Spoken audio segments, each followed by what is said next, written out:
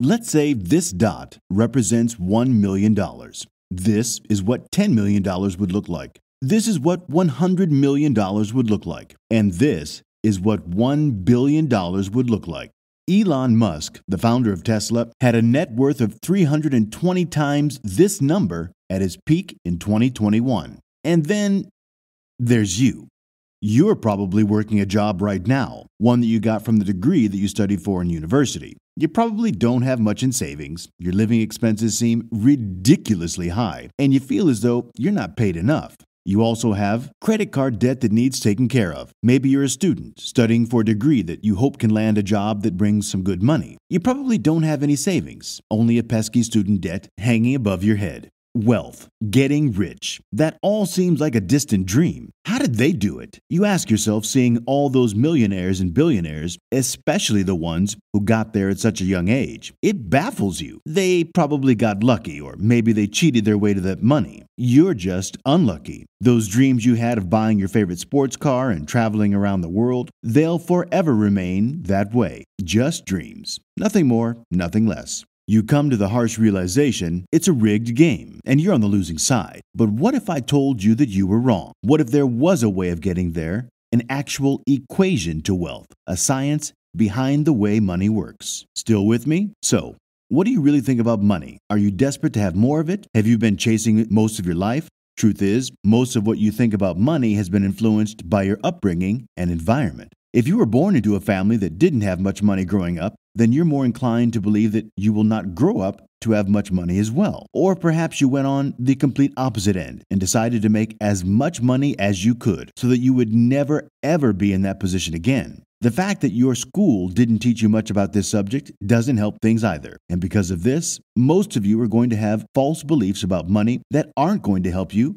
on this journey. Now, stick with me here because we're going to have to change the way you've been seeing money your whole life. Hollywood has always had a habit of depicting the wealthy and rich as evil, backstabbing, entitled, or corrupt individuals. Question is, have you bought into that stereotype? Many of the well known ultra rich are all self made and rarely inherited anything. Some of the most notable self made billionaires include Warren Buffett, Jeff Bezos, Elon Musk, and Sara Blakely, while others like Howard Schultz and Oprah Winfrey were born into poverty and rose up to where they are today. What is it that these people know that you don't? The truth is that the money making equation you've been taught at school is wrong. Money equals salary earned from a job. Past a certain point, the prospect of getting a job becomes the sole purpose of your education. But what's wrong with that, you ask? Now, I'm going to assume that you want to make money, a lot of money, and very quickly. Then, if so, this equation will never get you there. We all have an important resource. Everyone has it, but once it's gone, there is no way of getting more. And that resource is time. In a standard job, the amount of money you can earn is directly proportional to the time you spent doing that work. So if you earn $15 an hour and you work 40 hours a week, then it would take you nearly 32 years to earn a total of $1 million.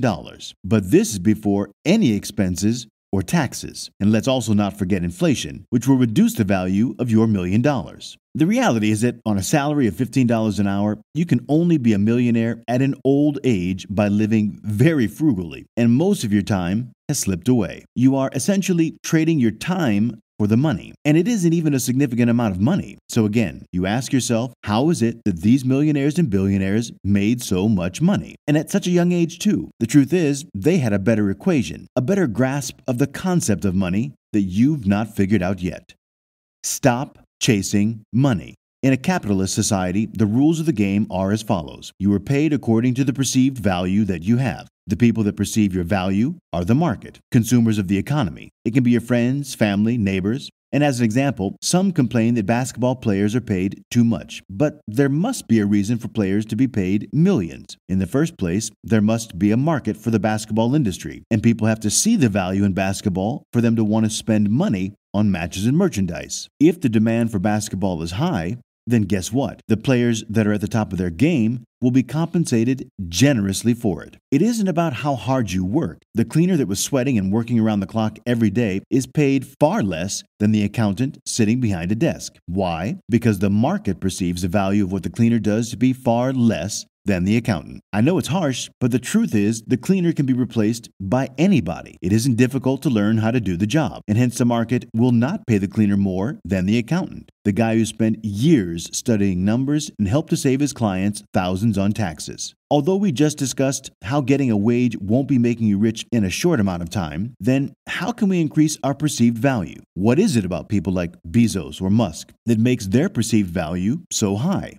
Two words solving problems. If you take your time to really digest this, you'll see that if one thing solves a problem, then money is thrown at it. A million dollar problem solved would make you millions. If it's a billion dollar problem, then the solution will make you billions. For example, Amazon solves the hassle of physically stepping into a store, the hassle of waiting weeks for delivery, and provides cheaper prices while doing so. Not to mention the other subsidiaries under Amazon and the problems they solve. Jeff Bezos helped solve a billion dollar problem and was awarded favorably for doing so. It sounds almost paradoxical, but if you want money, it isn't money that you should be looking for. You should be looking for problems, and more importantly, solutions to these problems. Once you find that solution, make a business around it. Now, I know what you're thinking. This is absurd. If just solving problems and money will appear, then I'm going to have to be the Facebook or the next Google, right? You might think you lack the skills or the time or maybe the startup capital.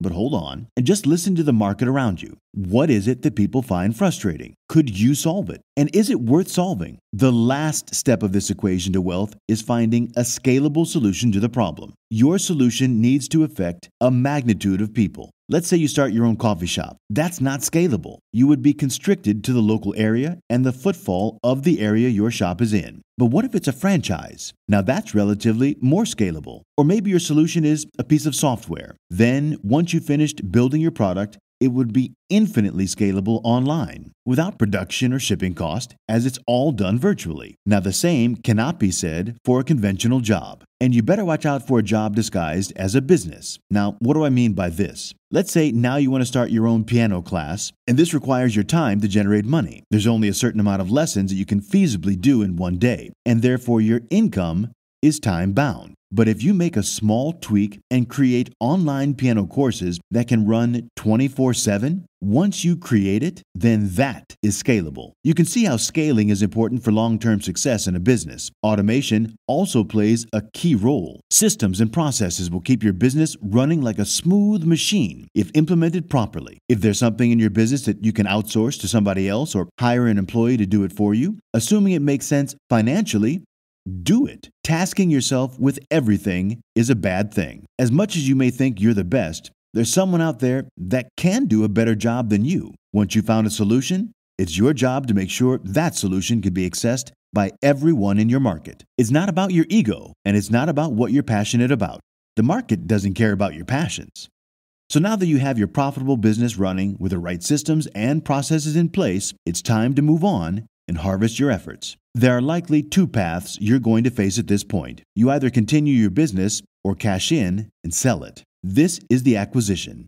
The moment someone buys the solution that you spent years building a business around. This is Instagram being acquired by Facebook for $1 billion, or PayPal being sold to eBay for $1.5 billion. Or you could choose to continue running your business. Well, there's a multitude of reasons for you wanting to do so. Maybe you love the company that you built and you want to stick with your baby. Or maybe you think you can add more value to the company and sell it down the line for more than it's currently worth. Or maybe it's a combination of these. Either way, you did it. You solved a problem that the market wanted solving, and it awarded you favorably for doing so. So now what? What was it all for anyway?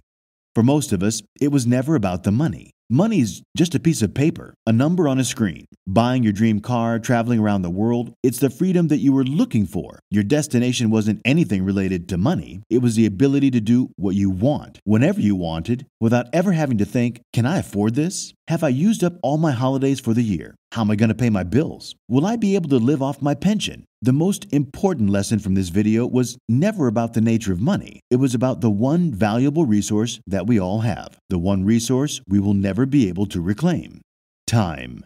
It's also important to come back to the original point that I made at the start of this, which is that most people will not succeed for various reasons. But the most important part is failing. Failing fast and moving on to the next thing. And if you're out there doing something that isn't strictly related to a business, but you want it to make money, then ask yourself this What problem am I solving? This could lead you to find ways of better monetizing whatever it is that you're doing, and that also includes a job or maybe side hustles you're pursuing. If you watch this till the end, kudos. And if you want to check out the book that inspired this video, it's called The Millionaire Fast Lane by MJ DeMarco. Or you could check out my summary of his book here. Click on it now to watch.